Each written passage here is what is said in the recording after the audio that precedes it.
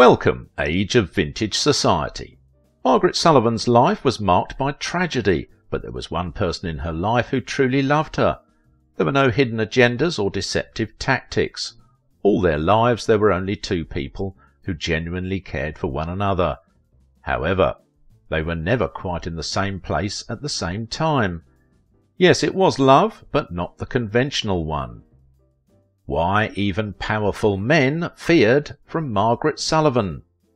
Make sure to watch the video until the end and leave your thoughts in the comments. If you are new here, join our wonderful community by subscribing to the Age of Vintage channel. You might have heard countless stories of Hollywood starlets who struggle to cope with the demands and struggles of stardom. We have seen actresses who felt deceived by the dominance of the Hollywood studio system.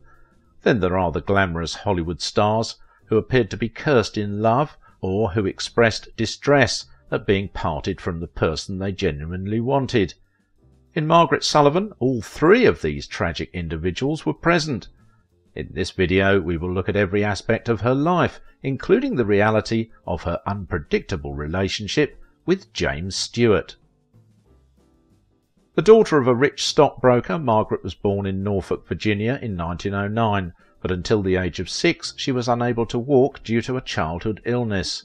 She stunned her class-conscious parents when she was finally able to move around independently by choosing to join in the rough and tumble of the youngsters from the wrong part of town, instead of more polite pursuits. She received a private education from her parents at Chatham Episcopal Institute, where she was also voted as the school's student body president. After Chatham, Margaret relocated to Boston to live with her half-sister and decided to pursue a career in acting. In an effort to control their disobedient daughter, her parents scandalously cut her money. However, she was never one to give up. She found work at the Harvard Cooperative Bookstore and persisted in her acting studies. Eventually she received a part in the close-up play by the esteemed Harvard Dramatic Society in 1929, and boom, she performed it so well. Henry Fonda, a future Hollywood heartthrob, was one of her co-stars. In one of the scenes she was meant to slap him. Margaret Sullavan, however, did nothing half-heartedly. So how can you expect a weak slap from her? Sullavan gave it her all every time she had to slap Fonda's character, whether it was during a rehearsal or the actual performance. Fonda later recalled that she gave him a rock-solid slap. But young Fonda's response to this treatment was completely unexpected. He ultimately realized she fascinated him, instead of turning away. However, Fonda had strong competition. Yes, it was Jimmy Stewart, who was adorably awkward, yet incredibly attractive, and was Fonda's best buddy. Naturally, Sullavan joined their lively group, and the three quickly grew to be extremely close friends. In fact, Stewart began to develop feelings for the vivacious actress at the same time that Fonda did. Finally, working up the guts, Stewart decided to go ahead and ask Sullavan out on a date. The offer to go on a date from Stewart, according to Sullavan, was the longest, slowest, shyest, yet most sincere she had ever received, but they were destined for a disappointing outcome. Sullavan rejected Stewart because of his reputation as a con man, but as we will see, there was always a sneaking suspicion of what might have been in their relationship. But Fonda quickly interfered. She accepted Fonda's marriage proposal, and on Christmas Day 1931 they were married. Even though they were already friends, Fonda and Sullavan didn't make the most of a match. Fonda was known for being cold and closed off, while Sullavan was the complete opposite. Sullavan and Fonda made every effort to make things work, even relocating to New York City together to hunt for work. Despite their best efforts, they were only married for a mere two months before splitting up in early 1932. Then Sullavan's life truly began to pick up. Sullavan was one of Broadway's brightest stars by the 1930s. Sullavan's parents still disapproved of her aspirations well into her career, despite her success. But it wasn't until 1930 that they walked into a theatre and saw her acting prowess firsthand. They were in awe of what they saw. Even they had to acknowledge that their daughter was excellent, so they stopped bothering her. The same play that Sullavan's parents saw was seen by a scout for the powerful theatre partner Lee Shubert, who informed his boss that they had a star on their hands. Sullavan's first genuine opportunity to become famous came very close to being lost. She had a severe case of laryngitis when she met Shubert, and was concerned that her husky voice would put him off. That didn't actually happen, though. Of course Shubert signed her on to perform in his plays, and guess what he liked the most in her?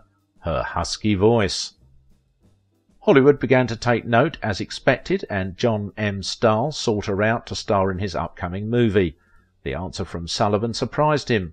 She had already said "Nope" to Paramount and Columbia, and considered declining Stahl because she didn't want to surrender power to studios. Finally, the director offered her an offer she couldn't refuse a multi-picture contract with a provision allowing her to come back and perform any time she preferred. Margaret's trip to Hollywood was unexpected. Industry insiders quickly recognized Sullavan as a girl who was difficult to handle or direct. She was fiercely independent and preferred to follow her own interests rather than have them imposed on her by powerful men. Even the head of the studio, Louis B. Mayer, one of the toughest and most powerful men in Hollywood, was afraid of the rebellious actress. Eddie Mannix, a Mayer assistant, admitted once that Sullavan was the only player who outbullied Mayer. Furthermore, he said, she gave him the level of frustration. In John Stahl's 1933 picture, Only Yesterday, Sullavan played her first ever movie role. It was supposed to be a time for her to celebrate her success, but instead it caused her embarrassment. Sullavan urged the studio to let her buy out her contract after seeing the rough cuts of her scenes. They replied, hell no, and Sullavan prepared herself for the worst. Sullavan was totally mistaken about Only Yesterday, even though she'd probably never confess it. The critics praised her work. Sullavan's next step was taken with all eyes on her. Sullavan saw various high points in her career, but she only had one favourite movie, the 1934 picture Little Man, What Now? because the movie focuses on World War II hardship and unemployment. In 1935 she performed the role of a sweet orphan girl on the set of director William Wyler's film The Good Fairy. However, things were not all rosy in the background. Almost the whole shooting schedule saw Sullavan and the Wyler at odds with one another in typical Sullavan style. Then all of a sudden their hatred flipped. Were they really in love? Probably not, but Sullavan grabbed this chance quickly since she was feisty, young, and naive, eloping with Wyler in 1934 before The Good Fairy was even published. Even if it was Wyler's first and Sullavan's second marriage, it was still an absolutely terrible idea. Why? Just wait. Around this time, Sullavan began to convince some important studio doors in Hollywood to let her old friend Jimmy Stewart in, she wanted him in her upcoming movie Next Time We Love, in particular since she had believed that he could become a famous actor ever since they met in the theatre. However, when she began pushing managers to hire her old friend, they didn't even know who he was. The turmoil then really began when Sullavan bet on Stewart and was now blamed for all of the studio's problems with him. Oh, they had lots of them. Stewart had only played in two movies by this point, and their film's director, Edward Griffith, noticed this right away. He then started taunting both Stewart and Sullavan about it. Sullavan went into overdrive to make Stewart the main character because she was worried if she was going to embarrass herself. She spent a lot of time with him and enabled him to acquire the distinctive mannerisms and speech patterns we now associate with him. Later, Griffith himself had to confess that it was Margaret Sullavan who turned James Stewart into a star. But the quality time they spent together had a more serious impact. Sullavan and William Wyler were still legally married during the course of all this. One thing was clear despite Sullavan's mixed feelings. Stewart was deeply in love when they appeared in The Shop-Worn Angel in 1938. When he was with her he was in his most vibrant form. A love like that can't remain silent for too long the studio boss said after watching the shop-worn Angel. Why, they're red hot when they appear in front of a screen. Sullavan was, in other words, at the height of her powers. Everything eventually broke down. In 1936, after less than two years of marriage, she and William Wyler split because she was unable to manage the failings of trust. Do you think that she rushed to Jimmy's arms? Ah, no. Instead, a few months after their divorce, she wed her agent, Leland Hayward. After the wedding, Sullavan duly moved in with Hayward, but there was one alarming sign. Can you guess it? She chose the house right across the street from her buddy Jimmy Stewart's home. Yes, this sounds confusing. We are just now starting to understand Jimmy Stewart and Margaret Sullavan. The most likely idea about their relationship holds that she resisted or ignored his approaches, while Stewart remained hopelessly in love with Sullavan. Sullavan's succession of weddings to partners other than Stewart were undoubtedly discouraging to him. The reality could, however, be very different. One of Tinseltown's biggest mysteries was revealed when Sullavan's daughter Brooke published a book about her mother in 1977. The book asserts that despite all their will they won't they pessimism, the love stricken couple actually had an affair years ago while Sullavan was still married to Henry Fonda. However, they ended it when they realized it might damage their friendship, so they remained true friends for the rest of their lives. Sullavan and Hayward's union got off to a positive start. After being married, they soon had three kids Bill, Bridget, and Brooke. Sullavan appeared to be finally settling down for a calm life away from the camera for a little time. Then it ended in a tragic way. Sullavan experienced a wife's greatest nightmare in 1947 when she learned that her husband Leland was having an illicit affair with the stunning socialite Slim Keith. Sullavan didn't need to second guess herself. She immediately filed for divorce, finally finalizing the divorce in 1948. However, nothing was that easy. After the divorce, her family broke up. Everyone in the family absolutely hated the situation in which Sullavan stayed on the East Coast while Hayward travelled to California, and the kids were shuttled back and forth. To make matters worse, Hayward would frequently lavish the children with presents before sending them back to Sullavan, furious and frustrated with her dull life. All hell soon got loose. Sullavan meanwhile married Kenneth Wagg, a banker, for the fourth and final time. The actress found stability in the relationship for the first time in her life, despite the fact that it lacked the excitement of her previous relationships. Wagg supported her at her toughest times during more than ten years of marriage. Sullavan's kids gave her a devastating blow in 1955.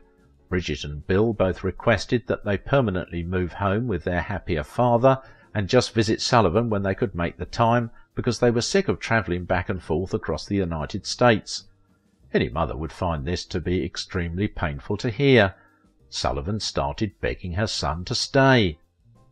She experienced a complete mental breakdown as a result of his refusal to stay, Uncontrollable sobs from the actress could be heard echoing throughout the entire house. Brooke, her daughter, recalled, Even from my room the screaming was so horrible that I went into my bathroom and put my hands on my ears. There was unfortunately more to come.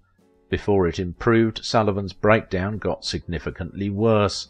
The star was so severely wounded that she later hid beneath the bed and curled up into a ball, refusing to come out for a considerable time. She was eventually persuaded out by one of her friends using soothing tones, but it didn't work. Indeed, she was truly broken. In those hard moments, extreme measures were needed.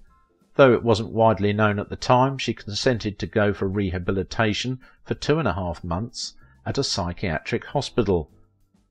Undoubtedly, the actress's recovery from her illness was boosted by that experience. Tragically, her agony eventually took on a different shape. What was that? Sullavan kept a painful secret for many years.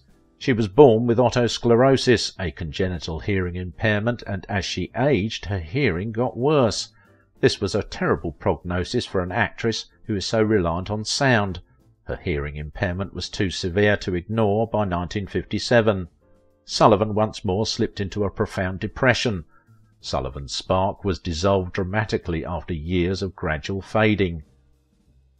She was spotted in a Connecticut hotel room on New Year's Day 1960, fighting for life and barely conscious. Assistants hurried her to the hospital, but it was too late. She passed away at the age of only fifty before she even arrived at the hospital. After the world's surprise, troubling details began surfacing. When the results of the autopsy were released, it was reported that Sullavan had overdosed on barbiturates, leading many to believe that she had sadly killed herself after years of misery. Did she? Well, she didn't leave a letter, though, so the investigator determined that the terrible incident was an accident. We might never know the real story behind her last moments. Many people were impacted by Sullavan's passing, but Jimmy Stewart's reaction was the most heartbreaking. Stewart was deeply affected when he learned the truth. His wife later recalled, He kind of went into solitary mode for a while. He lost the passion that had always flashed inside him. It was certainly not the failure of his films, but the death of Margaret Sullavan that put a stop to his spark. He lost the woman who made him a star. Though they couldn't live like a couple, there was a beautiful bond between them. You know when you have a friend who matters a lot to you, who means more to you than any of your other relationships, and who starts to convert from someone you like being around to someone you can't live without. Can you relate to that feeling? That's exactly what James Stewart and Margaret Sullavan felt. Don't you think so? Share your thoughts in the comments. If you liked this video, don't forget to give it a thumbs up, subscribe if you're new here, and if you want to support my work, please visit my Patreon page. Margaret Sullavan's temper freaked out even one of the toughest and most powerful men in Hollywood. She was not alone with a unique personality. What made Bettie Page innocent and perky at the same time? Watch this video.